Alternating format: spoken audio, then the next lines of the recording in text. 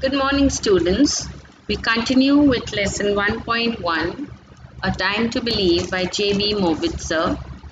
Till now, uh, the main theme of the poem is to have faith, have hope, to look out for new openings where you will have a better chance, a new chance, and think of each day as a new beginning. Uh, now I have taught you all the first three stanzas. Let's continue with the rest of the stanzas, the last three stanzas. To believe is to find the strength and courage that lies within us. This is an epigram, both the sentences together. It's an epigram because it is a saying or a proverb. I hope you all are writing. Now, here, what is he telling us? The poet is telling us that you don't need others to encourage you all the time.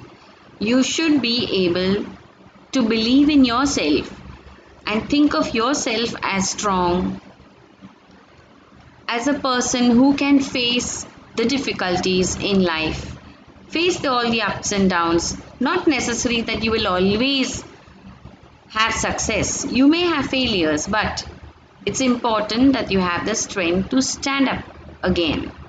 Yes? Not just lie down there even if people are laughing at you. And that's the same thing that he tells in the next two lines. When it is time to pick up the pieces and begin again. Pick up means to start anew. Yes, pick up to start anew to begin again, to start afresh. Now, what to start afresh? When will you start afresh? The pieces and begin again. The pieces. Now, when something, you're talking of pieces when something is broken. Like a, a, a glass, a mirror. If it falls down, it will break and shatter into hundreds of pieces. Correct? Now, is it possible to pick up those tiny pieces of glass and fix it? No, it's almost impossible, but it is not impossible for you to start over again in case you have lost, in case you have maybe even given up. It's now time to start again and start afresh. Forget about your failures. Don't just go on thinking that I couldn't do this and I won't be able to do it. Just because you couldn't do it once doesn't mean you will never be able to do it you have to make a continuous effort. Yes? If you look around you there are so many people whom you admire whom you follow your heroes who were failures at one time or, and have now become great or famous or well known only because they have tried over and over again and never given up. Yes? Even if they have failed maybe uh, you see a, a, a hero from the movies. They, not all their movies are hits. Many of the movies are flops, but they don't give up. Do they give up? No. So that's what they are telling you over here. Do not give up. Instead, begin again as if you are just starting anew. And don't think of your failures and just uh, keep on thinking about them and lose heart. But you should have the courage you should have the strength. And from where will you get the strength? The strength is within you. Don't look at others to give you strength all the time. Yes? So the poet is telling you look out for your inner strength. We move on to the next stanza. If you see the sorry um yeah. If you see the last two lines that when it is time to pick up the pieces the letter P is repeated for poetic effect. So alliteration.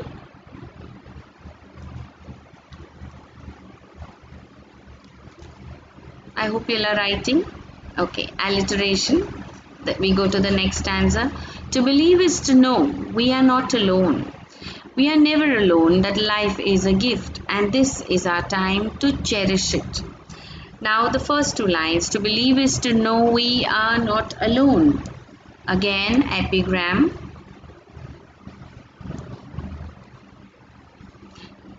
That life is a gift. Metaphor. Life is compared indirectly to a gift. So metaphor. An indirect comparison is made between life and a gift.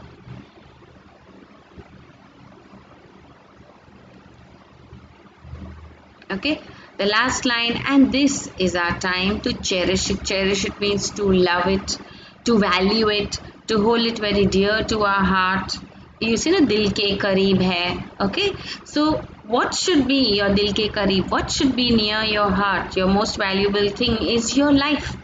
Because you're not going to get a second chance. You're not going to get an, a second chance to live once you have lost your life. You will get chances for doing your things in your life but your life a very good example would be you can see the very good example of Sushant Singh Rajput he gave up his life. He gave up on life. And is he going to get another chance? Now his movie is being released. It was going to be released on the big screen, but now it's going to be it's not going to be released on big screen. It's just going to come on the channels. So he gave up on life. Now is he going to get another chance to try again? No. If he was alive, he would have. He should have or fought a little more, not lost hope. And that is very important because your life once it's gone you're not going to get it again. Yes? So that's everything is in your hands. There will be people all around you trying to put you down. There will be people around you laughing at you for things that you may not be able to do. But then don't get worried don't be bogged down by the things that they say just say care a damn for what you all think my life is my life and my life is in my hands. And I am going to make the best of my life. I am going to come up in life the way I want. Okay? Okay. Think of positive things in your life, and that will help you when you are in a difficult situation, when you are in a bad situation. Whenever you are in a bad situation, think of the love that you have got from your parents Yes, think of the life that you are living. You have got a good life, you're going to a good school, you've got good food to eat. Think of that, and that will make you happy. Maybe think if you have pets, think of your pets, how much they love you unconditionally. Yes, so think of all the good things that you have in your life, and if you give up on life, you're not going to get all this. So, that will help you to come out of your sad or bad situation. Okay. Moving on to the last stanza. To believe is to know that wonderful surprises are just waiting to happen. The whole thing, three lines, is the epigram. And all the three lines together is also alliteration because the letter W in wonderful and waiting is repeated for poetic effect.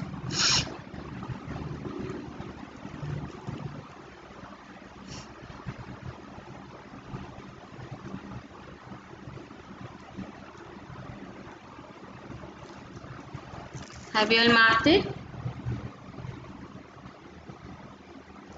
Okay. And all our hopes and dreams are within reach if only we believe. So, what is saying? All the things that we dreamt of, the goals that we have thought of in our life, are possible. Within reach means possible to achieve. They are not impossible. That's why you thought of doing it, correct? So, because it's possible to achieve, that's why you thought you know your abilities.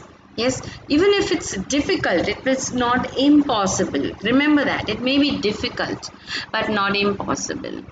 There are people who have no legs, but they have climbed the Everest.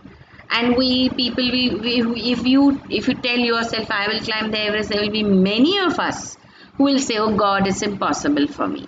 Right? But it's your will. It's how you think how you, your outlook in life that will take you to places that will help you reach your goal your positivity your positive attitude towards life that will help you reach your goal and be a successful person. Now as i told you yesterday uh, to write the whole poem okay? Now the rest of it whatever figures of speech i think there are just uh, six maybe figures of six or seven figures of speech in the rest of the poem please write that down so your poem and your figure of speech will be complete. After that, as a homework, you will do this. The first part, 1a, rearrange the letters to make meaningful words. These words are in the poem. So you have to rearrange and find the words from the poem. And 2b, uh, sorry, 1b, words, write words from the poem that describe the following. So you will tell how is the sky described in the poem. What are the words used to describe the sky? You will write that. Okay. What are the words used to describe the heart? You will write that. Okay. So look in your poem and then write it. Then after that you will do this. Fourth, find from the poem positive qualities to fill up the web. Yes? All the positive qualities that are there in the poem like maybe to value to trust whatever you search it okay? If you can't find it do message me i will tell you. Okay the this much is your homework for today. You don't have to do anything else i will give you all your question answers in the next lecture and with that we will finish the lesson. Okay? Hope you all are able to do your homework properly. If you have any doubts do call me. And most important please please read your poem at least twice. Thank you and have a nice day